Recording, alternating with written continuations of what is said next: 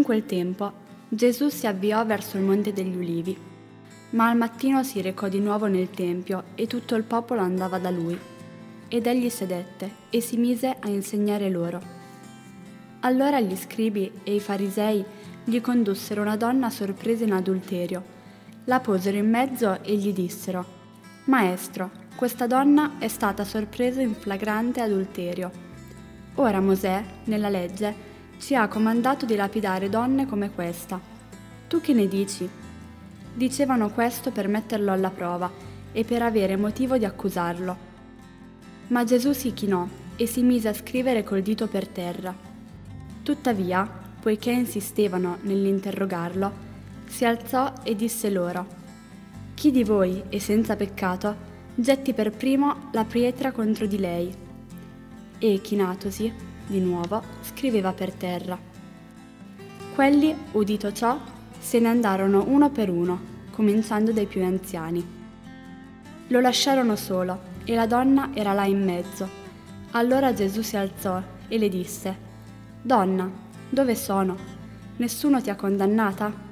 Ed ella rispose, Nessuno, Signore.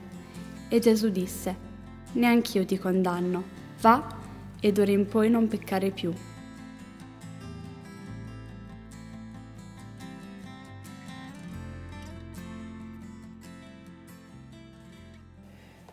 Come non fermarsi oggi sulla risposta di Gesù agli scribi e ai farisei?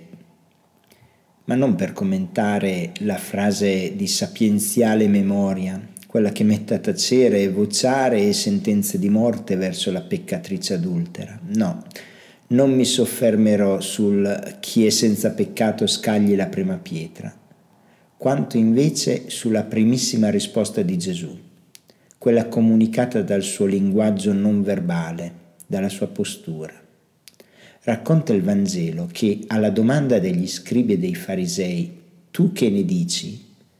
Gesù si chinò e si mise a scrivere col dito per terra. Interessante. Gesù si china, scrive a terra, poi si alza, parla, sentenzia e poi di nuovo si china e scrive a terra. Questo chinarsi apre e chiude la sua ringa di avvocato improvvisato. Il linguaggio non verbale è più del parlato e non è indizio di poco conto.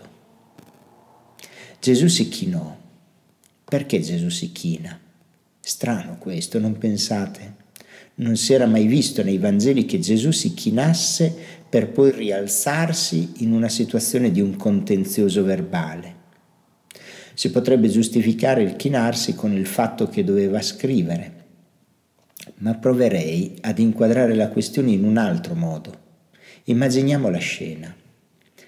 In quello scenario di gente, fra passanti e giustizieri, chi era l'unica persona a terra? L'adultera la donna che di lì a breve sarebbe stata lapidata.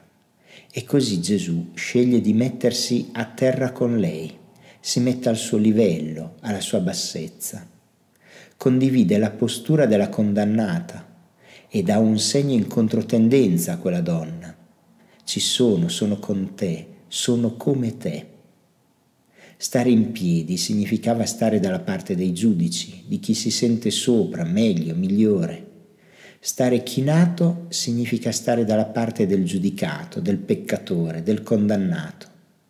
Sì, io credo che Gesù si sia chinato per liberarla dall'angoscia di morire da sola, senza aver nessuno a fianco da poter condividere la paura mortale. Era stata colta in fragrante adulterio, ma dov'era l'uomo con cui aveva condiviso l'adulterio? Anche lui doveva essere punito secondo la legge. Chissà, magari di lui si era invaghita, fidata, confidata, eppure non c'era, non era lì con lei. In tempi fortemente maschilisti chi pagava era solo la donna, tradita fino all'ultimo. Lei trascinata davanti al Tempio, al Tempio di Dio, ed umiliata davanti a tutti, era sola, senza l'aiuto del Dio della legge e neppure la pietà degli uomini. Ma no, uno è arrivato, carissima sorella, è Gesù.